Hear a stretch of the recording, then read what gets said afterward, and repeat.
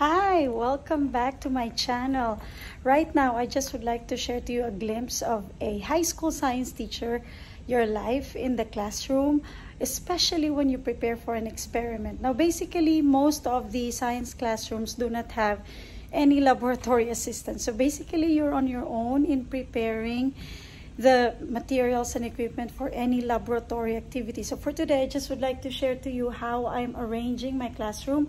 So you see that the tables are being grouped and that each table has a certain number for every group that will be um, that will be working in the class and every table already has all the equipments that they need so this Uh, it took me days to be able to prepare all these things. And then if you see in the front at the at my back i put all the chemicals. It's a common table where you can also put all the chemicals all at once and that the students will just get what they need.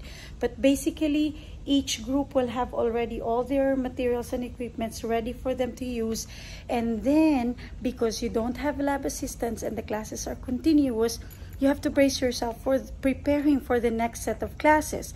And because we cannot we don't have time to clean it ourselves, we can empower our students to be able to um, clean and help us out in organizing the stuffs that they need so that the next class will be ready for it. So we allot a certain time of the class that we will let them clean up and finish maybe the laboratory report once they are done cleaning up. That way we will be ensured that we will not get in trouble for our next class.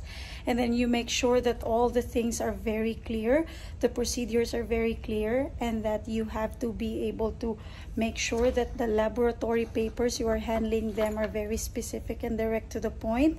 And we always conduct laboratory, pre-laboratory discussions and after conducting the experiment, the kids should be able to process also during our post-laboratory discussions what was the experiment all about. So it's not really something hard to do, but it requires a lot of preparation beforehand so that you'll be able to successfully implement hands-on, minds-on laboratory activities so to enhance and reinforce the learning of our students of our science concepts.